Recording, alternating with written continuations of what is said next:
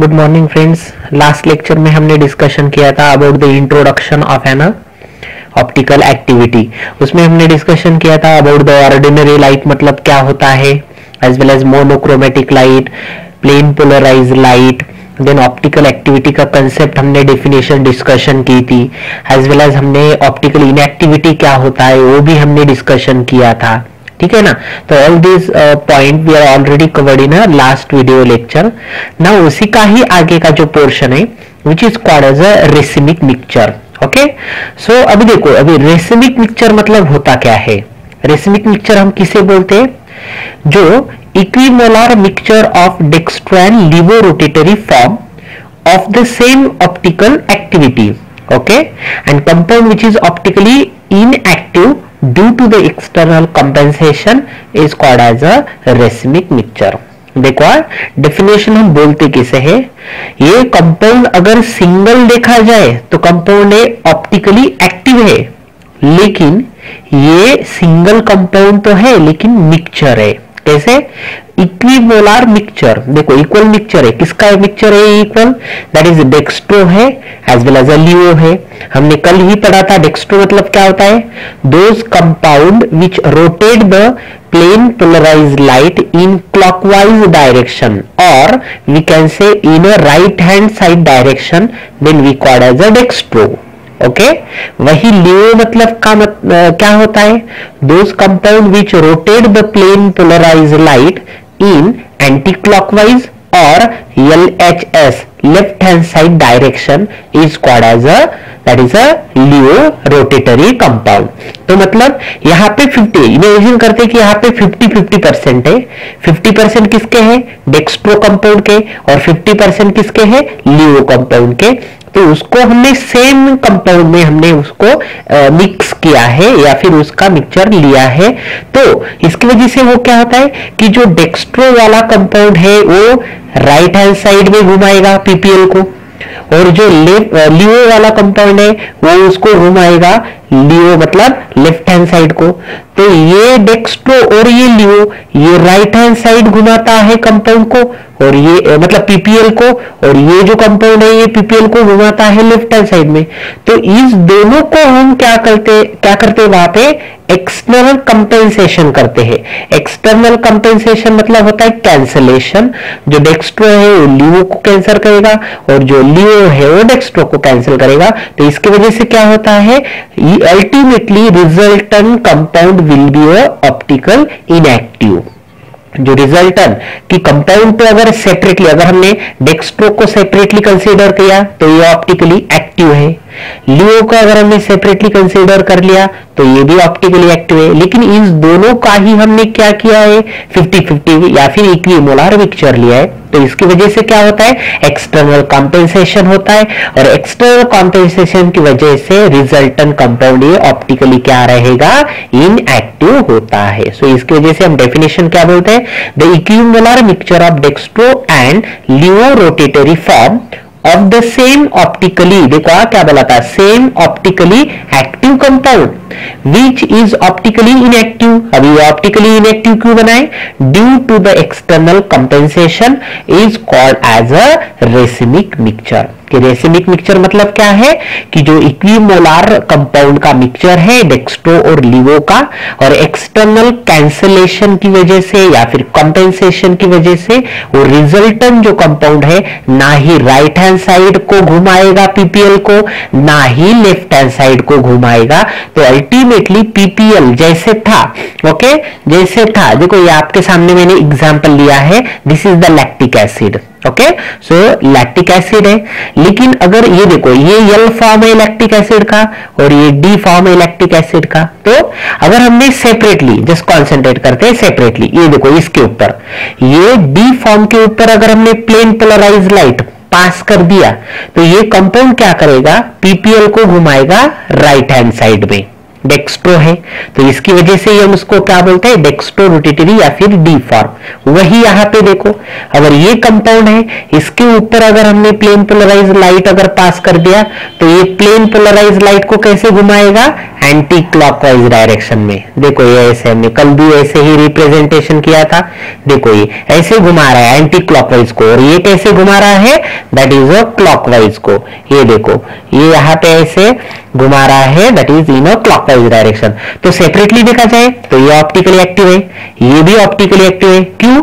क्योंकि ये भी सेपरेटली पीपीएल को राइट हैंड साइड में घुमा रहा है। दैट्स वाई डेक्सट्रोरोटेटरी और ये जो कंपाउंड है, ये पीपीएल को क्या कर रहा है? लेफ़्ट हैंड साइड में घुमा रहा है। तो दैट्स वाई ये भी ऑप्टिकली एक्टिव है। लेकिन अभी इसका क्या किया है? इसका लिए 50 परसेंट इसका लिया 50 परसेंट मतलब सपोज़ हम इमेजिन करते हैं, इसका 5 ग्राम लिया है, इसका भी 5 ग्राम लिया है।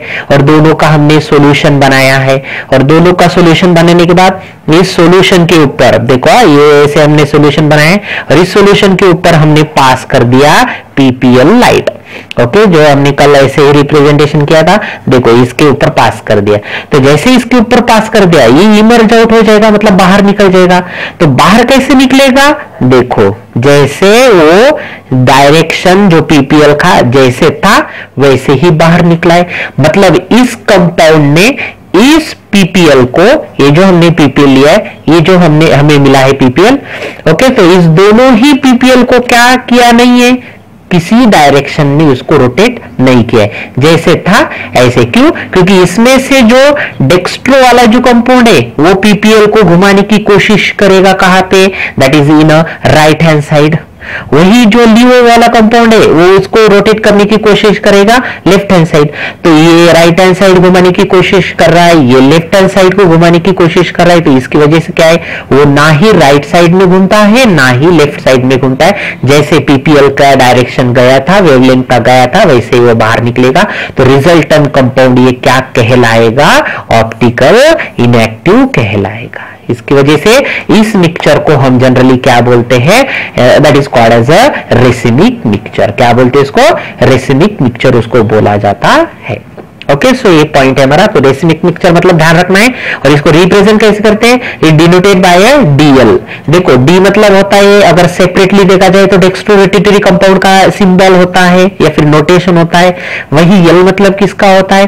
That is a laevorotatory compound का। या फिर हमने कल ही पढ़ा था that is a D and L के बारे में, कि जो डी एंड यल होता है, उसको डेक्स्ट्रोरेटरी और प्लस माइनस में हम जैसे रिकैप करते हैं। देखो, ये कल के लेक्चर में हमने ऐसे पढ़ा था। देखो, ये है पीपीएल पीपीएल को हमने टू क्लोरोब्यूटेन जो ऑप्टिकली एक्टिव कंपाउंड है कायरल है, इसके भी हमने पास कर दिया था। तो इस सॉल्यूशन में पीपीएल में क्या घुमाया था? देखो ये दैट इज़ ये है राइट हैंड साइड तो इसको हमने डेक्स्ट्रो बोला था और डी या फिर इसको प्लस साइन से हमने नोटेट किया था। वही अगर ये कंपाउंड पीपीएल को अगर लेफ़्ट हैंड साइड में अगर घुमाएगा तो इसको हमने लियो बोला था और इसको ही हमने एंटी क्लॉकवाइज या फिर यल और ए माइनस डायरेक्शन में उसको हमने रिप्रेजेंट किया था। लेकिन देखो यहाँ पे क्या है? यहाँ पे ना ही इसको प्लस डायरेक्शन में घुमा रहा है ना ही ये माइनस डायरेक्शन में घुमा रहा है तो दैट्स वाई इसको दोनों भी लिखा जाता है, क्योंकि दोनों ही कंपाउंड वहाँ पे मौजूद है सोल्यूशन में। डेक्स्ट्रो रोटेटरी कंपाउंड भी मौजूद है और लियो रोटेटरी कंपाउंड भी मौजूद है।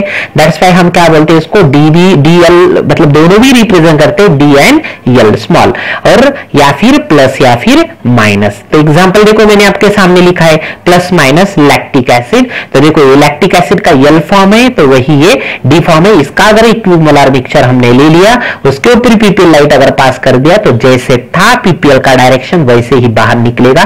तो रिजल्टन कंपाउंड या फिर resultant plane polarise light does not have any type of the rotation not in right hand side even not in left hand side तो that's why we should not consider at it optically active because there is a no rotation for a PPL light तो such type of mixture we called as a that is a racemic mixture कोई बोले क्यों ऐसे होता है? तो उसको separate जैसे बहुत सारे कंपाउंड नेचुरल कंपाउंड में से हम क्या करते हैं कंपाउंड निकालते हैं, जो इक्वल अमाउंट में वहाँ पे प्रेजेंट होता है तो हम जनरली उसको कंसीडर करते हैं ऑप्टिकल इनएक्टिविटी लेकिन बाद में इसको अगर हम सेपरेट अगर करते हैं रिजॉल्व करते हैं तो हमें बाद में पता चलता है कि वो ऑप्टिकली एक्टिव है सेपरेटली डी या फिर यल को उसको हम सेपरेट आइसोलेशन करने के बाद में ये करगा लेकिन फ़िलहाल यहाँ पे जो मिक्सचर रहेगा, उसको हम जनरली क्या बोलते हैं रेसिमिक मिक्सचर इसको बोला जाता है ठीक है?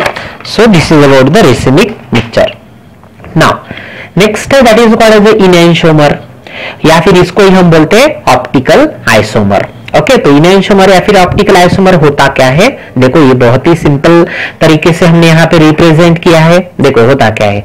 नाउ डेफिनेशन देखो द पेयर ऑफ़ आइसोमर एक जोड़ी है पेयर है which are non superimposable mirror images of each other non superimposable mirror image क्या होता है?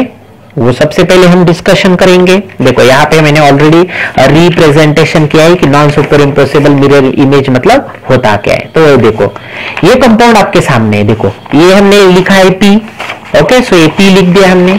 और पी को हमने क्या कर दिया? ये मिरर यहाँ पे हमने डाल दी। तो इसका जो प्रतिबिंब है, या फिर इसको मिरर इमेज बोलते हैं, ये यहाँ पे आ जाएगी। और ये दोनों ही मिरर इमेज ये है जस्ट देखो इमेजिन करो, इसको मैंने पी को उठाया है, या फिर ये जो कंपाउंड यहाँ पे बनाए मिरर इमेज इसको उठाया है इसके ऊपर डाला है तो ये सेम नहीं आएगा अलग अलग आएगा ओके वैसे देखो, ये दोनों मैंने हैंड लिए हैं, ये देखो, दोनों हैंड लिए। सपोज़ इमेजिन करो कि यहाँ पे क्या है, यहाँ पे है मिरर क्या है? मिरर और इस हैंड का जो प्रतिबिंब है मिरर इमेज है यहाँ पे आ गई। लेकिन ये दो कंपाउंड तो हमें दिख रहे सेम लेकिन मैंने ऐसे ही इसको उठाया और इसके ऊपर डाल दिया। तो देखो ये अलग अलग है। ये सेम नहीं है। ये देखो थम्स ये लिटल फिंगर के ऊपर, यहाँ पे भी ये थम्स लिटल फिंगर के ऊपर। मतलब ये सेम नहीं है।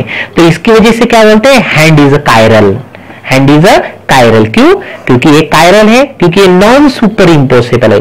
नॉन सुपर इम्पोसिबल का मतलब क्या होता है?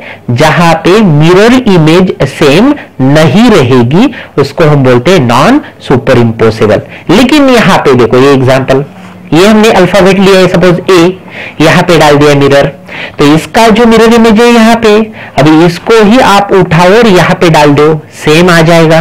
देखो, ये इसका मिरर इमेज यहाँ पे है तो इसको हमने मिरर इमेज को लिया, और मेन कंपाउंड के ऊपर अगर हमने प्लेस कर दिया तो ये क्या आएगा सेम तो इसको हम क्या बोलते हैं सुपर इम्पोसिबल तो अगर कंपाउंड की मिरर इमेज सुपर इम्पोसिबल है मतलब सेम है तो उसको हम क्या बोलते हैं that is called as a chiral इसको बोला जाता है. तो वही हम देखो यहाँ पे भी रिप्रेजेंट कर रहे हैं ओके सो देखो हमने बोला क्या है इनेश मतलब द पेयर ऑफ़ आइसोमर एक पेयर ऑफ़ आइसोमर है which are non super impossible देखो मिरर इमेज अलग अलग होनी चाहिए not same okay like to that of our hand ये देखो हैंड जैसे इसको हमने इसके ऊपर डाल दिया तो अलग अलग आ रहा है रिप्रेजेंटेशन अलग अलग है. दैट्स वाई हैंड को हमने क्या बोला है? कायरल बोला है. सेम ऐसे ही कंपाउंड के बारे में भी होता है. The pair of isomer which are non superimposable mirror images of each other जो सुपर इम्पोसिबल नहीं है, किसके? मिरर इमेजेस को, उस कंपाउंड के तो उसको हम नॉन सुपर इम्पोसिबल बोलते हैं of each other and direction of rotation of PPL is called as a enantiomer मतलब क्या रहेगा? एक पेयर है आइसोमर का, उसका non super impossible mirror images है ईच अदर का and direction of rotation of PPL is called as a what that is a enantiomer इसको बोला जाता है। और यहाँ पे देखो, हमने कुछ पॉइंट भी रिप्रेजेंट किए। They have a same physical and chemical properties but differ in their angle of rotation that is direction angle of rotation same रहेगा। ओके? जैसे अगर हम रिप्रेजेंट करते हैं, कोई कंपाउंड है, जिसके ऊपर हमने क्या कर दिया? प्लेन पोलराइज लाइट पास कर दिया। तो आफ्टर पासिंग द और after pass the plane polarise light तो हम क्या कर रहे हैं? देखो कंपाउंड ने क्या किया इसको एक कंपाउंड में इसको घुमाया है, क्योंकि दो बन रहे मिरर इमेजेस है। वो भी non super impossible mirror images है। तो एक कंपाउंड को घुमाया है राइट हैंड साइड उसका एंगल सपोज़ रहेगा 90 डिग्री का। सेम दूसरे कंपाउंड को घुमाया है एंटी क्लॉकवाइज उसका भी डायरे उसका भी एंगल क्या रहेगा? 90 डिग्री का ही रहेगा। 90 डिग्री, दोनों का ही एंगल तो सेम है, लेकिन डायरेक्शन अलग है। तो दैट्स देखो they same physical and chemical properties but differ in their angle of rotation that is in the sense of what direction angle of rotation angle तो सेम रहेगा दोनों कंपाउंड का एंगल सेम रहेगा जैसे हमने लैक्टिक एसिड का अगर हमने एग्जांपल लिया था इससे पहले तो लैक्टिक एसिड का, जहाँ पे हमने रिप्रेजेंट किया था मिरर इमेजेस देखो यहाँ पे। ये लैक्टिक एसिड का एग्जांपल हमने लिया था, ये लैक्टिक एसिड है। इसको हमने यल बोला था, इसको हमने डी बोला था। तो अगर इसके प्लेन पोलराइज लाइट अगर हमने पास कर दिया तो ये क्या करेगा? ये सपोज़ इमेजिन करते कि 90 डायरेक्शन में इसको 90 डिग्री के डायरेक्शन में इसको घुमा रहा है, किसके? प्लेन पोलराइज लाइट को। लेकिन इसका डायरेक्शन 90 डिग्री 90 एंगल जो है तो 90 डिग्री है।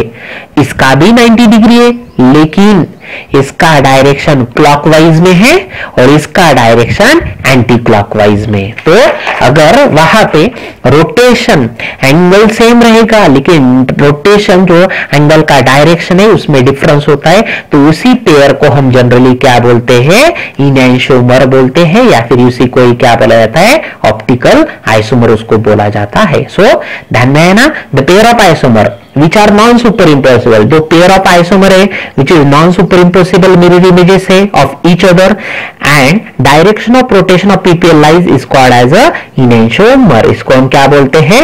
डायरेक्शन ऑफ़ uh, और क्या रहेगा? दे हैव सेम फ़िज़िकल जिनकी दोनों की फ़िज़िकल और केमिकल प्रॉपर्टी सेम है। ओके okay, वहाँ पे एंगल भी सेम है but differ in their what direction तो उसको ही हम क्या बोलते that is called as a enantiomer और इसका कुछ फॉर्मूला भी है। नंबर ऑफ़ ऑप्टिकल आइसोमर ये तो आगे भी हम डिटेल में पढ़ने वाले विथ एग्जांपल जस्ट यहाँ पे एज आपको रिप्रेजेंटेशन मैंने एक एग्जांपल दे दिया है। Number of optical can be calculate by देखो ये ग्लूकोज का स्ट्रक्चर है। ग्लूकोज में आपको पता ही है, चार कायरल कार्बन एटम होते हैं, ये वन टू थ्री फोर ऐसे चार कायरल कार्बन एटम तो उसका फॉर्मूला क्या है? फॉर्मूला है A is equal to two raise to N okay so ये इज़ मतलब क्या? Number of total optical isomerism तो देखो, इसको हमने कैलकुलेट किया है तो two into two into two into two तो total sixteen optical isomer possible है किसके? That is of what glucose के। अगर कोई कंपाउंड है जहाँ पे दो कायरल कार्बन एटम है तो दो कायरल कार्बन मतलब इसके टोटल आइसोमर कितना आ जाएँगे? चार।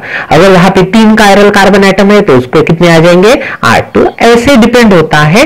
तो जितने भी कायरल कार्बन एटम वहाँ पे प्रेजेंट है ऑन दैट बेसिस ये इसका फॉर्मूला रहेगा। आपको टोटल आइसोमर अगर ऑप्टिकल पूछा है तो टू रेस टू एन ये इसका रहेगा फॉर्मूला एन मतलब होता है that is the number of chiral carbon atom now next that is called as a chirality अभी कायरलिटी हम किसे बोलते हैं? देखो हाँ कायरल कायरल तो ये हमने ऑलरेडी पढ़ा है, कल के ही वीडियो लेक्चर में हमने डिस्कशन किया है कि कायरल मतलब क्या होता है। कायरल मतलब ऐसा एक ऑर्गेनिक कंपाउंड है, जहाँ पे कार्बन एटम जो सेंट्रली अटैच रहेगा फोर डिफरेंट एटम को या फिर ग्रुप्स ऑफ़ एटम को तो उसको हम कायरल बोलते हैं।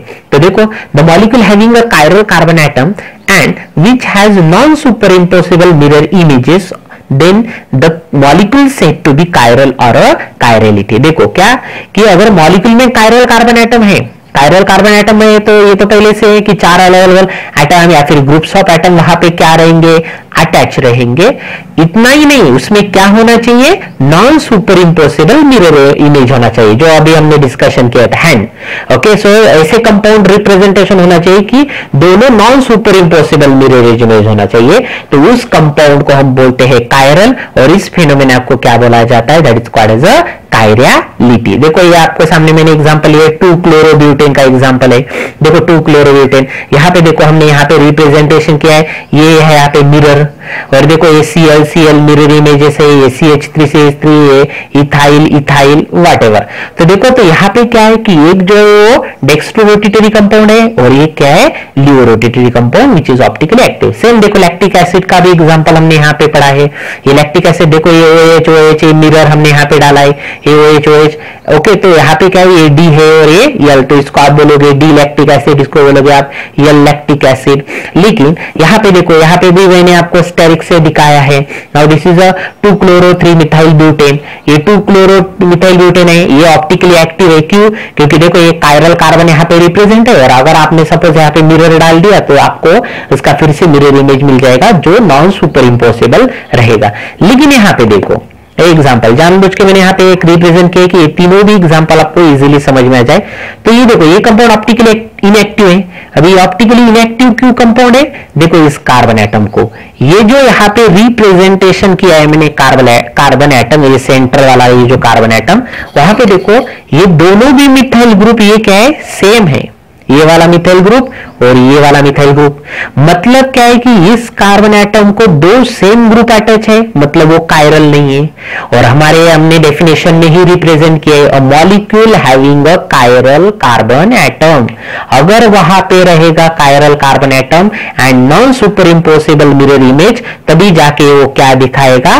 कायरल या फिर क्या दिखाएगा?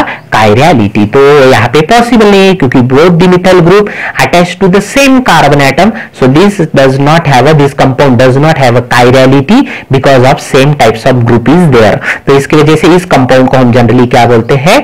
ऑप्टिकल इनएक्टिव बोला जाता है। तो बात समझ में ना? कायरलिटी मतलब क्या होना चाहिए? उसमें कायरल कार्बन आइटम होना चाहिए और non super impossible mirror image अगर रहेगी कंपाउंड में, तभी जाके हम उसको कायरलिटी कंसीडर कर सकते हैं।